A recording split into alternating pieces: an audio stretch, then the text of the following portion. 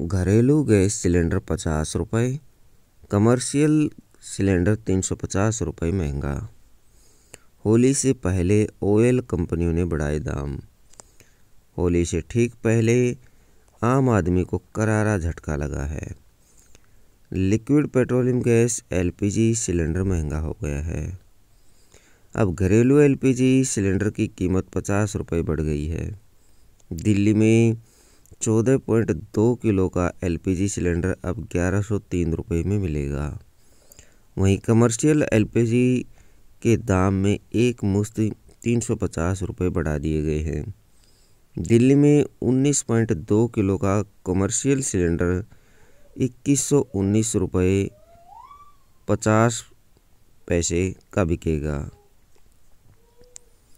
पाँच साल में पैंतालीस प्रतिशत बढ़ी है कीमतें। पिछले कुछ साल में एलपीजी के दाम काफ़ी तेज़ी से बढ़े हैं। पेट्रोलियम मंत्रालय के आधिकारिक आंकड़ों के अनुसार 1 अप्रैल 2017 से 6 जुलाई 2020 के बीच एलपीजी की कीमतों में अट्ठावन बार बदलाव किए गए।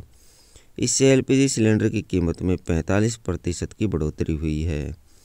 अप्रैल 2017 में एलपीजी सिलेंडर की कीमत सात सौ तेईस रुपये थी और जुलाई 2022 तक 45 परसेंट बढ़कर एक हज़ार तिरपन रुपये हो गई है।